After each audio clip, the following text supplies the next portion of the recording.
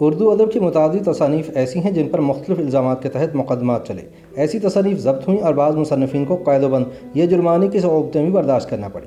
इन तसानीफ़ में डिप्टी नज़ीर अहमद की अमहातुलम्मा मुंशी प्रेमचंद की सौज वतन और तरक्की पसंद अफसाना नगारों के मजमू अंगारे के नाम सर फहरिस्त हैं। मगर सादत हसन मंटो तमाम मुसनफ़िन पर वाजी ले गए। क़याम पाकिस्तान से कबल मंटो के तीन अफसानों, काली शलवार, धुआँ और बू पर फहाशी के इल्ज़ाम में मुकदमे चले, जिनमें इनको सजाएँ भी हुई, लेकिन हर मरतबा अपील करने पर अदालत में मंटो और इनके अफसानों को फहश नगारी के इल्ज़ाम से बरी कर दिया क़याम पाकिस्तान के बाद मंटू ने जो पहला अफसाना तहरीर किया, उसका नाम ठंडा गोश्त था। मंटू का शोहरा आफाक अफसाना लाहौर के अदबी माहनामा जावेद की मार्च सन उन्नीस सौ उनचास की अशात में शाया हुआ। तीस मार्च सन उन्नीस सौ उनचास को रिसाले के दफ्तर पर छापा पड़ा और इसकी तमाम कॉपियाँ जब्त कर ली गई। छापे का सबब ठंडा गोश्त की अशात थी। सात मई सन उन्नीस सौ उनचास को हकूमत पंजाब की प्रेस लॉ ब्रांच ने सादत हसन मंटो के अलावा जावेद के मदीर आरिफ अब्दुल मतीन और नासिर नसीर अनवर के खिलाफ ठंडा गोश्त की अशात पर मुकदमा दर्ज करवा दिया। मंटू ने ठंडा गोश्त पर चलने वाले केस की मुकम्मल रुदात, इसी नाम से छपने वाले अफसानवी मजमू के पेश लफ्स में जहमत महर रक्षा के नाम से तहरीर की है। मंटू लिखते हैं कि जब हिंदुस्तान की सकूनत तर करके जनवरी सन उन्नीस सौ अड़तालीस में मैं लाहौर पहुँचा तो तीन महीने तक मेरे दिमाग की हालत अजीब और गरीब रही। मुझे समझ में नहीं आता था कि मैं कहाँ हूँ, हिंदुस्तान में हूँ या पाकिस्तान में? बार बार दिमाग में उलझन पैदा करने वाला सवाल गूंजता, क्या पाकिस्तान का अदब अलहदा होगा? अगर होगा तो कैसे होगा? मंटो मजीद लिखते हैं कि मेरे जहन में एक और सवाल ये था कि वह सब कुछ जो गैर मुनकसम हिंदुस्तान में लिखा गया, उसका मालिक कौन है? क्या इसको भी तकसीम किया जाएगा? क्या हिंदुस्तानी और पाकिस्तानी के बुनियादी मसाइल एक जैसे नहीं? क्या हमारी रियासत मजहबी रियासत है? और रियासत के तो हम हर हालत में वफादार रहेंगे। मगर क्या हमें हुकूमत पर नुकताचीनी की इजाज़त होगी? आज़ाद होकर क्या यहाँ के हालात, फरंगी अहद हुकूमत के हालात से मुख्तलिफ़ होंगे? इसके बाद सादत हसन मंटू। फैज़ अहमद फैज़, चिराग हसन हसरत, अहमद नदीम कासिमी और साहिर लुधियानवी से मिले, मगर कोई भी इनके सवाल का जवाब नहीं दे सका। इस दौरान मंटू ने हल्के फुल्के मजामी लिखने शुरू किए, जो अमरोज़ में शाये हुए। इनके मजामी का मजमु बाद में तलख, तुर्श और शीरी के अनवान से शाया हुआ। इसी ज़माने में अहमद नदीम कासमी ने लाहौर से नकूश जारी किया। कासमी की फरमाइश पर मंटो ने पाकिस्तान में अपना पहला अफसाना ठंडा गोश तहरीर किया। मंटो लिखते हैं कि कासमी साहब ने अफसाना मेरे सामने पढ़ा। अफसाना ख़त्म करने के बाद उन्होंने मुझसे माजरत भरे लहजे में कहा, मंटो साहब, माफ़ कीजिए। अफसाना बहुत अच्छा है, लेकिन नकूश के लिए बहुत गर्म है। चंद दिन के बाद कासमी साहब की फरमाइश पर मंटू ने एक और अफसाना लिखा, जिसका अनुमान था, खोल दो। ये अफसाना नकूश में शाया हुआ, मगर इसकी पादाश में हुकूमत ने नकूश की अशात छः महीने के लिए मअतल कर दी।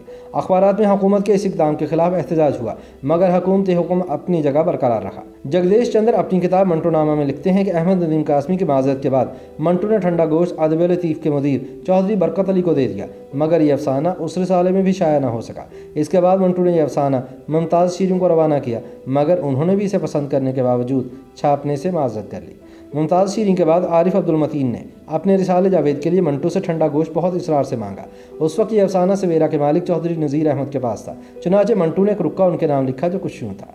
जावेद वाले अपना पर्चा जब्त करवाना चाहते हैं, बराह करम, उनको ठंडा गोश्त का मसवदा दे दीजिए। यूँ आरिफ अब्दुल मतीन ने अफसाना हासिल कर लिया और इसे अपने अदबी रिसाले जावेद के मार्च सन उन्नीस के एडिशन में शाया भी कर दिया। मंटू ने लिखा कि जावेद के दफ्तर पर इस अफसाने के इशात के बाद प्रेस लॉ ब्रांच के इंचार्ज चौधरी मोहम्मद हुसैन ने छापा मारा और रिसाले की तमाम कॉपियाँ जब्त कर ली। मंटो लिखते हैं कि गो ज़यीफ़ी के बाद चौधरी मोहम्मद हुसैन के हाथ कमज़ोर हो चुके थे, मगर उन्होंने ज़ोर का एक झटका दिया और पुलिस की मशीनरी हरकत में आ गई। ठंडा गोश्त मंटो के लिए बहुत गर्म अफसाना साबित हुआ। इसने मंटो जैसे सख्त जान के कसबल निकाल कर रख दिए। मामला प्रेस एडवाइजरी बोर्ड के सामने पेश हुआ, जिसके कन्वीनर पाकिस्तान टाइम्स के एडिटर फैज़ अहमद फैज़ थे और बोर्ड में सिविल एंड मिलिट्री गजट के एफ़ डब्ल्यू वेस्टर्न ज़मींदार के मौलाना अख्तर अली नवाब के हमीद निज़ामी, सफ़ीना के वक़ार अम्बालवी और जदीद निज़ाम के अमीनुद्दीन सहराई शामिल थे।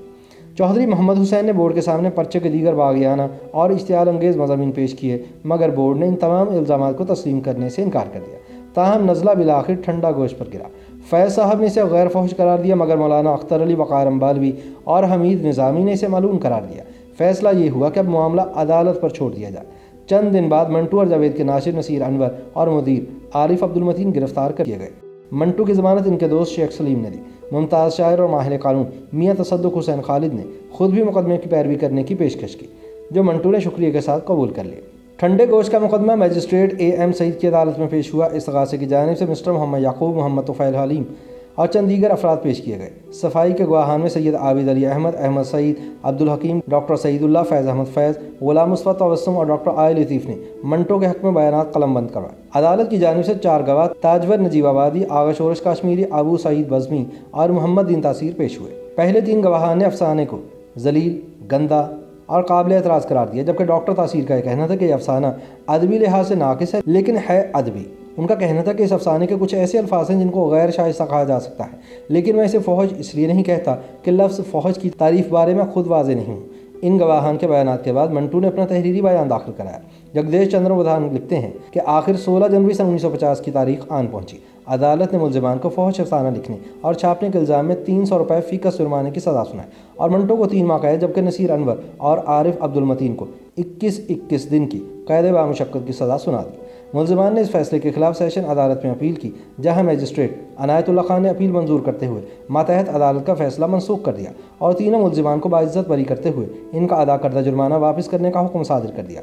मगर हुकूमत ने फैसले के खिलाफ हाईकोर्ट में अपील कर दी। लाहौर हाईकोर्ट के चीफ जस्टिस मोहम्मद मुनीर और जस्टिस मोहम्मद जान ने अपील की समात की। उन्होंने आठ अप्रैल सन उन्नीस सौ बावन को अपना फैसला सुनाया। यह फैसला बहुत मुदल था और फहाशी पर दिए गए अदालती फैसलों में संग मिल की हैसियत रखता है। जस्टिस मुनीर ने फैसले में लिखा कि ठंडा गोश्त का खाका बेजर है, मगर तफसीत और बयान फहश हैं।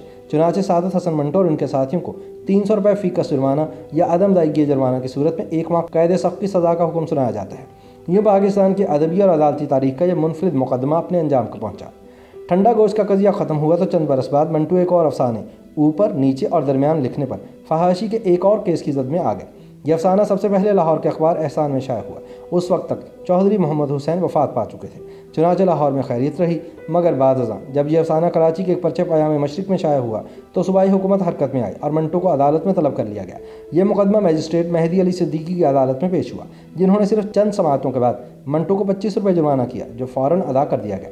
और यूँ इस केस से भी मंटो की खुलासी हो गई। YouTube पर गूगली न्यूज़ देखने के लिए YouTube.com की सर्च बार में गूगली न्यूज़ टीवी टाइप करें। गूगली न्यूज़ के पेज पर सुर्ख रंग के सब्सक्रिप्शन वाले बटन पर क्लिक करना ना भूलिए। YouTube पेज पर अपलोड होने वाली वीडियो से बाखबर रहने के लिए बेल आइकन पर क्लिक कीजिए। आपको हर नई वीडियो के बारे में नोटिफिकेशन मौसू हो जाएगा।